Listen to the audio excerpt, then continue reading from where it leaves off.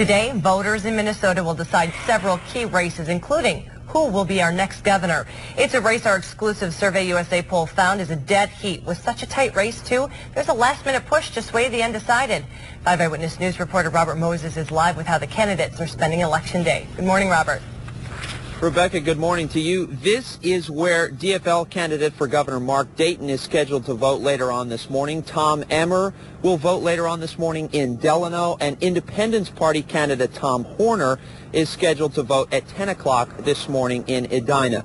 In our last half hour, we heard from the DFL party this half hour, we are joined by Michael Brodkorb, who is the deputy chair of the state Republican Party. Michael, thanks so much for taking a couple minutes uh, to be with us. First of all, I'm going to ask you the same question. How are you feeling today? We feel great today. We have great volunteers working across the state right now to get out the vote. We have great candidates that are running, and we have a great message. Lower taxes, redesign state government, uh, you know, having state government live within its means. We feel very good about our chances here on Election Day.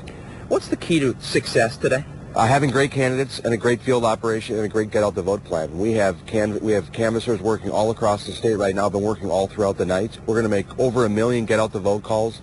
Tremendous volunteers and great candidates. We have a great candidate in Tom Emmer and other candidates running in the down ballot and in the uh, legislative races. It's a combination of things. We feel very good about our chances today. We've heard some Democrats are concerned about losing both the House and the Senate. Obviously, the DFL party has a solid majority in both the House and the Senate here in Minnesota. Do you think some of that, that national uh, disaffection could spill over here to Minnesota and benefit you? There's no question. Uh, Republicans haven't made gains in the legislature since 2002, and so we feel very good about our chances of picking up seats and getting very close, if not taking one, if not both of the legislative bodies here in Minnesota. Today's going to be a very tough day for some Democrats. How about Tom Horner? What effect will he have? Small, if any. Um, a lot of voters went on a date with Tom Horner, but they decided not to marry him. The choice is between Mark Dayton and Tom Emmer, and Tom Emmer is going to win today. Michael Brodkorb, thank you very, very much. Uh, most polls here in Minnesota will be open from 7 a.m. to 8 p.m. We're live in Minneapolis this morning. Robert Moses, 5 Eyewitness News.